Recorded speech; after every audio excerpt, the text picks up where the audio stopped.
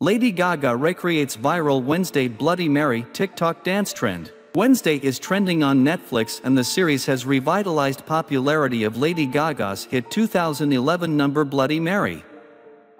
The song has become a popular trend on TikTok and the pop star has surprised fans with her stunning take on viral trend.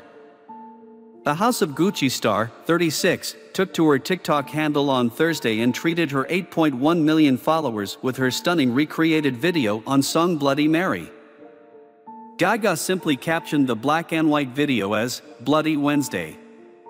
In the now viral clip, the A Star is Born actor can be seen doing her best goth makeup and putting on an outfit that is a take on Wednesday Addams from the hit Netflix show. After getting into the viral Wednesday Addams look, Gaga then started to break out into Jenna Ortega's dance from the show, along with the Grammy winner's lyrics.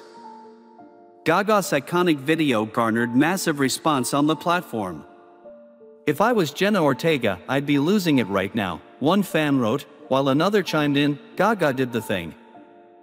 A third admirer noted that the Oscar winner is gaining success all over again on a song that was released over a decade ago.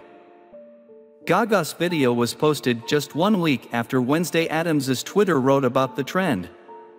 I see you doing my dance moves to a Lady Gaga-esque Bloody Mary. I understand she is followed by little monsters. I approve, the account tweeted. Wednesday made headlines as the series has now become Netflix's third most popular English language TV series ever, behind Stranger Things.